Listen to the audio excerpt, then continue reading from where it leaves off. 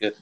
Hey, this is Jason Cruz. We're the MMA payout out here in Seattle, Washington. We are here once again with the interview, and this time we have a special guest, Shane Burgos, uh, PFL, uh, featherweight, lightweight. We'll talk about that. Uh, first and foremost, the biggest question I have for you today: Mets or Yankees? Uh, I'm from New York. I know I'm supposed to have one, but uh, I don't watch any sports besides fighting. okay, but, awesome. Okay, but I, I, will say I like the, the Yankees logo and colors better, so I'll go with Yankees. Okay, okay, okay. I, am of course the Mariners since I had the Mariners first time in 21 years they've been in the playoffs, so I'm a little excited. Sorry. Um, okay, second question: How are you feeling? Great, phenomenal. Excited. Awesome. So you got a fight uh, coming up in November uh, 25th. Home, home, home court advantage maybe against Marlon Moraes. Uh, and, and this fight is at featherweight, correct? Yes, sir. Yep. Excellent, excellent. So let's let's backtrack a little bit here. You had a great a great uh, run in the UFC. You decided to to move along to PFL test free agency, if you will. Um, how did that go about as far as being uh, be, being signed by the PFL? So it wasn't my first time testing free agency. It's actually my second time. Okay. Um, I did after I think it was after the Amirkhani fight. I did it, and um, I got an offer from the PFL, which was a, a, good offer at the time still, but it was um it wasn't too far off from the UFC's offer. But I really loved being in the UFC, so I was like, you know what, I, am going to stick with the UFC. I'm going to stay in here. I really want to just continue to, to, fight for the UFC. I want to try to get that title. I want I want to be here. This time around, I planned to do the same exact thing. I planned to resign with the UFC, and then PFL came strong with this offer. And um, the first offer was strong, then the, the second offer was strong, but the last offer they gave me, I was like, dude, I can't I can't turn this one down. This is one of those that like my my, my family's uh, future, their financial security for, like for life. So I was like, I, I got to take this deal. Now I understand that the first PFL offer when you were first a free agent was a very lucrative deal. Um, it paid more than the UFC at the time. Yeah. Yeah. Uh, what what came what went into your uh, thought process at that time, the first time, as to like turning it down? honestly, like my manager said, you can either be a UFC fighter or you can be a prize fighter. And at that time, I, I, I took a lot of pride in being a UFC fighter. Now I have two kids, I have a family, and I'm like, you know what?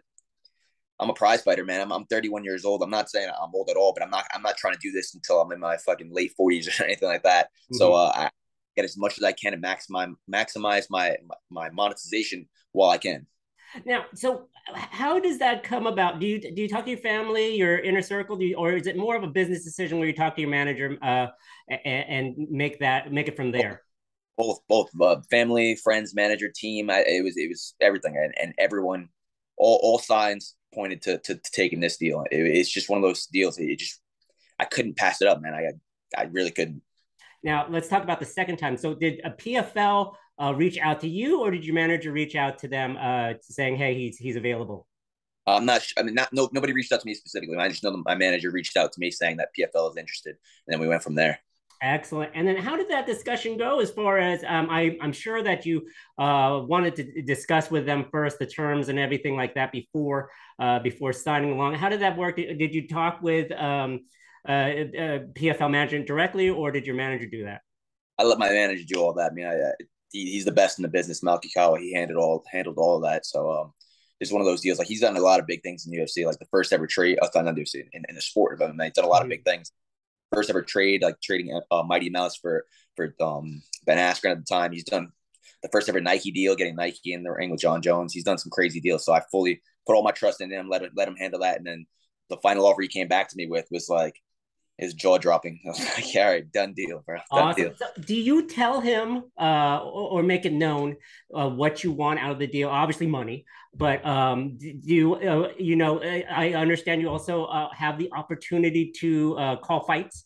Um, yes. Is that something that you uh, had expressed to Malki, or was it more along the lines of that was thrown in? No, that it should have that'd be cool if it was thrown in after that. But I don't think that they, they knew I was interested in that. But I, I said that I was like, this is something I really want to do because I, I got I love this sport. I eat, sleep, and breathe this sport. So I was I know once I'm done with this sport, competing in it, I won't ever be fully done with it. Like I plan on commentating, coaching. I, I want to be involved in the sport for the rest of my life. Okay. So I, that, I said, I said if we can get me a commentating gig with with them because I know they're doing their Challenger series, which is kind of like um similar to like the Dana White Contender Series, a little a little a little bit different, but very similar. So for me to be able to commentate on guys up and coming guys, like no brainer for me. Awesome. So, do you have any uh, broadcasting experience? Do you like? Is there a, somebody that you know that uh, like that you watch on TV that you really really like? That's a commentator. Uh, Jon Anik, Paul Felder, those are probably my, two of my favorites. Obviously, Joe, uh, Joe Rogan, that's the obvious answer. Uh, I love him too, but uh, I, I, really like Jon Anik and and, and uh, Paul Felder a lot, especially Paul Felder being a fighter and just seeing how um, seamless his transition was from being a fighter to, to being a commentator. He's phenomenal at it. So that's somebody I really look up to when it when it comes to that regard. Now, have you done any commentating any at, so far? I did. My my my my actually I have two brothers. My my middle brother he fought a couple years ago, and I told the, the the promotion I said I would love to commentate for the show, and they said yeah, they, they paid me not nothing crazy. They paid me, and, and I was able to commentate the show. When my brother fought, I actually went and cornered him. Then it came right back to commentating, so that was cool. I did that maybe like three years ago. Yeah. So how did you like? You like the whole process of commentating though? For real? Uh, do, I mean, I mean, is, is it is it different? Do you find yourself uh, talking through too, too technical, or do you, do you find yourself just watching and not talking? What do they tell you to do? They, they didn't tell me to do anything. They said just be you, which is like, oh, this is even better. But like when I'm watching fights anyway, like usually have a big group of friends. I have a huge family, huge huge group of friends. So like for all the fight nights, we usually have everybody together at one spot, somebody's house, and um, it's I just basically transitioned from what I was doing with my friends to what I was doing there. So it's I feel like it's a it'll be a seamless transition where I'm just I'm talking out loud. I'm saying my thoughts out loud about what's going on, breaking it down and stuff like that. Because a lot of times my friends like they've never been in fights or anything like that, so they don't they don't really know exactly what's going on. They don't know how exhausting like some positions can be. They don't know um where where, where the danger really is. So it, it's I'm explaining it to them, and then I'm just gonna go do the same thing with a mic in my face. That's awesome. That's awesome. So, do you plan to reach out to like a Felder or Anik or anyone else as far as like any tips or you know, you know, how do I deal with people talking in my ear while I'm talking to that kind of stuff? I, I didn't plan on it because I haven't put too much thought into it because I have the the fight first and foremost that I have to worry about. Once I get my first date booked for for for commentating, then that's when I'll probably do something like that. Yeah. Awesome, awesome. So now let's talk about the fight. Marlon Moraes, November 25th uh, in New York City. How did you? When, did you first learn that it was going to be Moraes? Uh, two weeks ago, a week and a half ago, something like that, and instant like, uh, okay, that that's one of those fights that's like, this is the biggest name I can get right now in the PFL. Like name value wise, he's he's probably got the, one of the bigger names. He's got a huge following. Um, everybody knows who he is, especially the, the diehard fans. I, I definitely know who he is. Even the ones that are casual, they know who he is. So I was like, for my first fight going into the PFL, you can't get a bigger name. You can't get a more exciting matchup than this one. It gets my blood pumping. It gets my you get the jitters and stuff like that when you when you get a name like Marlon because he is he's super dangerous. Even though he's on a losing streak, the dude is he's super dangerous. Yeah, no, Moraes, eh, eh, you know, he like you said, alluded to, he's he is on a, a losing streak, but he has defeated Jose Aldo. He's fought all the all the big bantamweights and featherweights in the UFC. Is there a, a eh, how do you feel your your styles match up with uh, his style? I think stylistically, it's a great matchup for me. Um, you guys see, like as the fight goes on, I, I get tend to get better. So uh, I think that as the minutes go on, as the time starts ticking down, as the lactic acid starts to build, I think I'm sure we're going to get better and progress. Um, and I think that's when that's where he'll start to fade, and I'll be able to pick it up even more. Excellent, excellent. Now we're uh, like a month and a half out from from the fight happening. So what what what part of your training camp are you in? Are you just starting to to get into it? Are you or have you always been, have you been just keeping yourself in shape this whole whole time?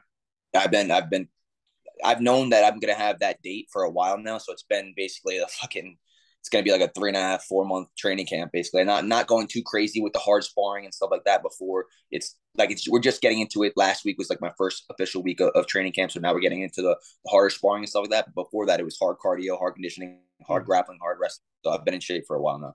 And it's and it's just the same. Your your same training spot at Tiger Schulmann.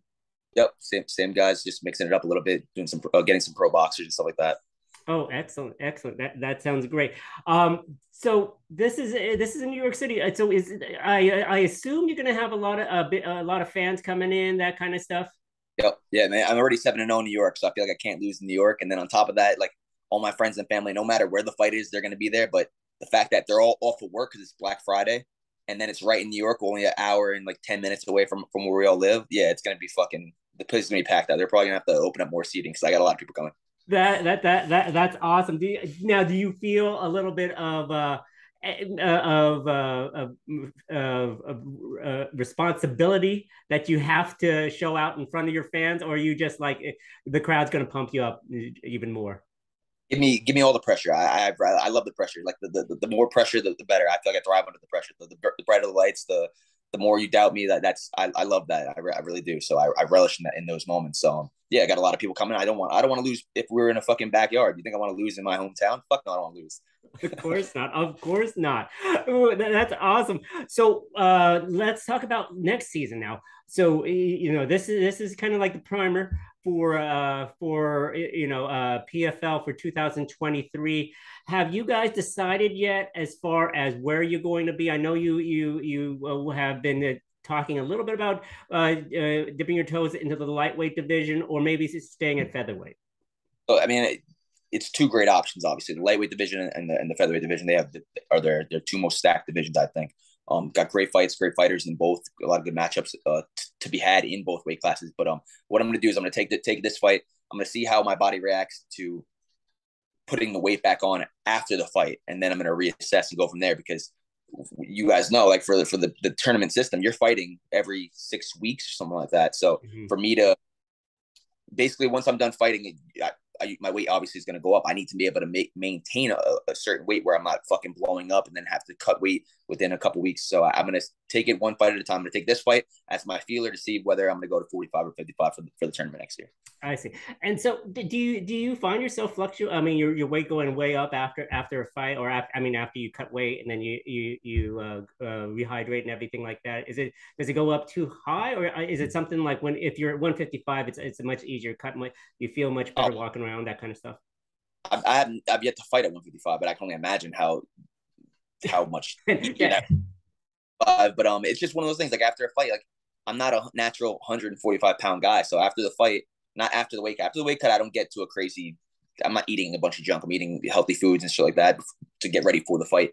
After the fight is when you let loose a little bit, and that that first week or two is when you're, you're eating all the stuff that like all the forbidden fruits that you weren't allowed to eat for the last couple weeks. So that's when the weight goes up a little bit. So I got to be able to maintain and not go too crazy with that. Awesome. So I'm gonna try it, see how I feel after after this fight, and then we'll decide 45 or 55 for the season. Is there a time uh, no it do, do the does the roster of uh, athletes coming out for 2023 will that make any impact or do you have to declare before um uh, before uh, you know they they uh, unveil the list of fighters that are coming out? No it's i'm only thinking about me. I'm not thinking about anybody else. I'm just thinking strictly about me and what how i'm going to perform best and what weight class i'll perform best at Gotcha. And then, so, you know, uh, obviously we, have seen fighters uh, come to the PFL and um, have uh, a smattering of success. Um, obviously, we uh, the biggest th- guys that we, we we've seen that come had come to the PFL not done so well was of course is Anthony Pettis, Rory MacDonald had had both of them had injuries. Both of them had disappointing uh, uh, uh, debuts. Uh, how are you going to avoid something like that coming into your fight against Marlon Moraes? It doesn't matter where the fight is. What like at the end of the day, it's a fight, and I and and I like I said, I, I I am a sore loser. I don't fucking like losing. I want to I want to win everything I'm in. So I'm gonna do whatever I can to maximize my chances of winning. I'm not taking if any injuries. Like I do PT when I'm not injured. You know I mean, I, I have a really good physical therapist that I go see once a week, even when I don't have injuries. So that kind of shit I'm taking super seriously. Not cutting any corners, not uh, leaving any stone unturned. I'll be primed, ready to go November 25th. Well, Shane, thank you so much for your time. Uh, like you said, it's November 25th, Black Friday. Uh, go shop and then go watch the fights on pay per view. On pay per view, I forgot that's a that's a big thing. Uh, first time the PFL has been on pay per view. Uh, it, it's going to be awesome to watch. Shane, thank you for your time. Uh, we wish you a good training camp uh, and health uh, leading up to November 25th. I appreciate you. Thank you guys. Enjoy All right, Thank you, Shane. Have a good one.